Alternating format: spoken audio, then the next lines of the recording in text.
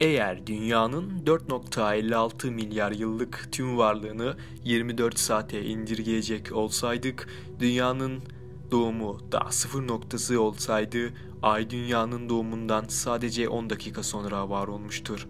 Bir diğer deyişle ay dünyanın oluşumundan sadece 30 milyon yıl sonra var olmuştur. O zamanlar dünya tam bir magma okyanusuydu ve en muhtemel hipoteze göre Mars büyüklüğünde bir gök cisminin dünyaya eğik bir açıyla çarpması sonucu bu magma tabakasından devasa bir kütle dünyadan koparak yörüngeye girdi ve ayı oluşturdu. İki dünya da güneşin yörüngesindeki toz ve kayaların birleşmesiyle zaman içerisinde oluşmuş sıradan bir gezegendir.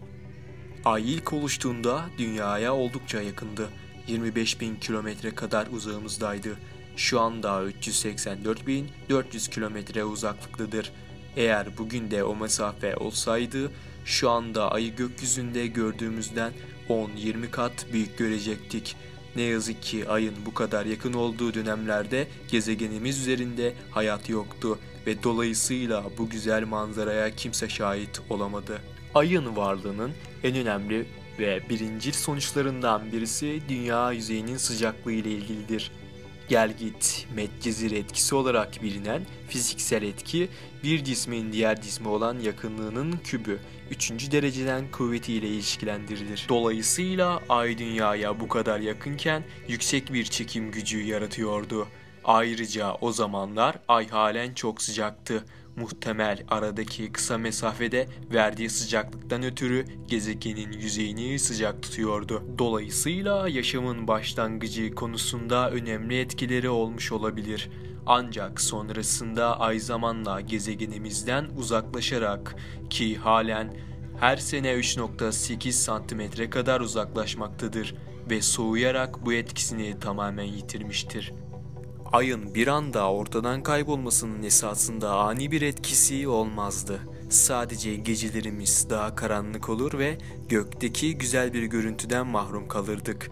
Ancak yok oluşan etkileri zamanla ortaya çıkmaya başlardı. Ayın yok olmasının bir diğer önemli sayılabilecek etkisi de uzayın derinliklerinden dünyayı tehdit edebilecek gök cisimlerinden bizi kısmen koruyor olmasıdır. Ancak bu astronotlar tarafından güçlü bir etki olarak tanımlanmaktadır.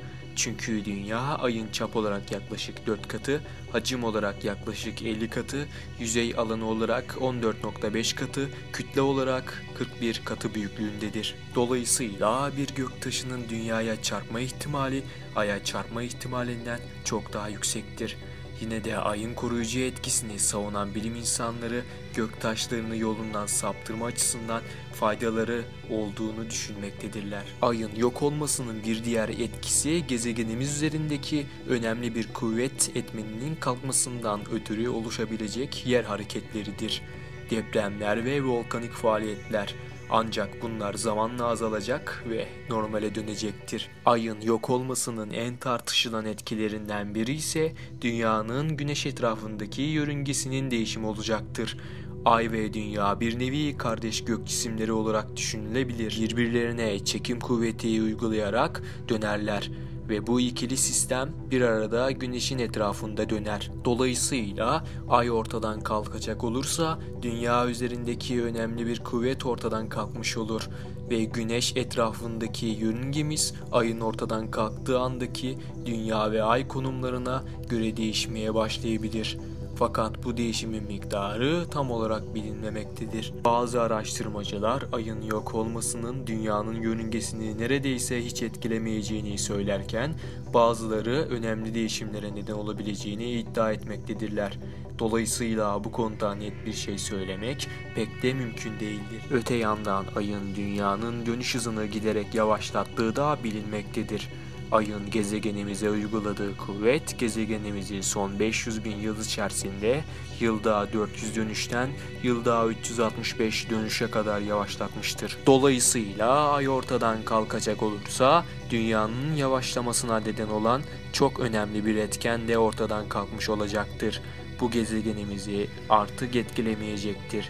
Ancak eğer ki ay başından beri var olmayacak olsaydı gezegenimizin dönüş hızındaki farklılıklardan ötürü canlılar çok daha farklı bir evrimsel süreçten geçebilirlerdi. Örneğin dünya çok daha hızlı dönecek olsaydı atmosferimizde çok fazla türbülans oluşabilir ve bu da güçlü ve dinmek bilmeyen rüzgarlara neden olabilirdi. Son olarak biyolojik açıdan yeniden ele alacak olursak ayın yok oluşu muhtemel birçok canlıyı ciddi miktarda etkileyecektir.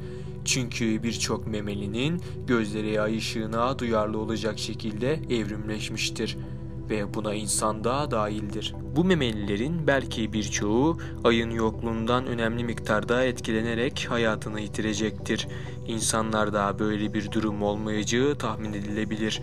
Fakat bizde de çok önemli psikolojik değişimler yaşanması muhtemeldir.